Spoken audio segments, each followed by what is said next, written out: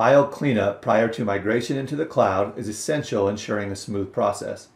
Here, we will review several ways to clean your data before migration into ACC.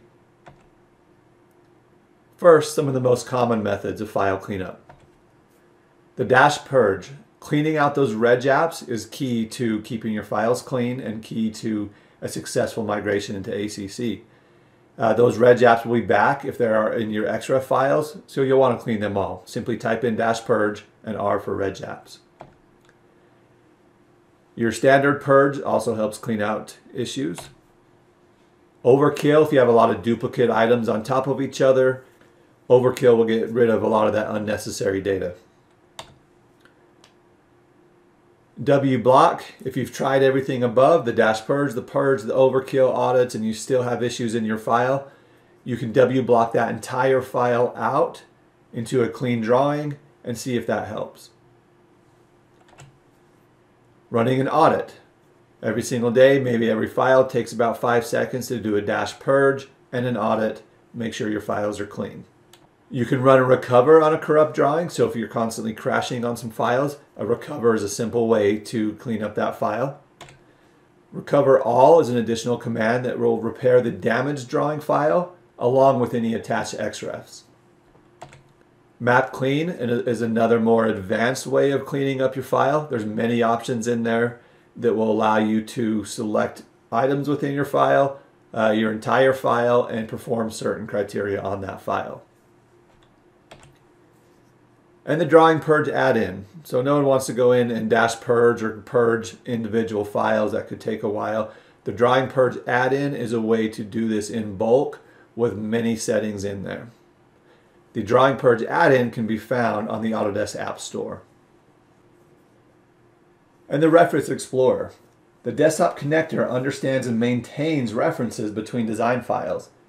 Reference Explorer tool is part of the desktop connector and enables you to visualize all reference file in a dataset, as well as the relationship between them.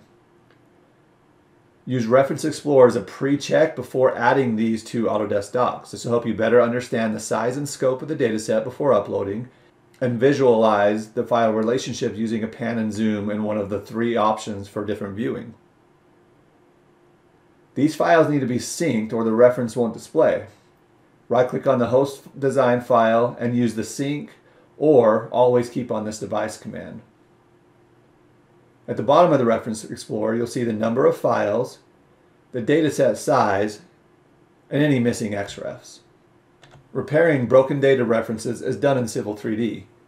Here you can repair broken shortcuts or replace drawing objects with new DS. In Civil 3D Manage Ribbon tab, you can find commands to validate data shortcuts synchronize references, manage those data references. The image on the right shows the command and the options within Civil 3D. To replace drawing objects with data shortcut references, ensure that the Show Only Broken Data Shortcuts checkbox is cleared.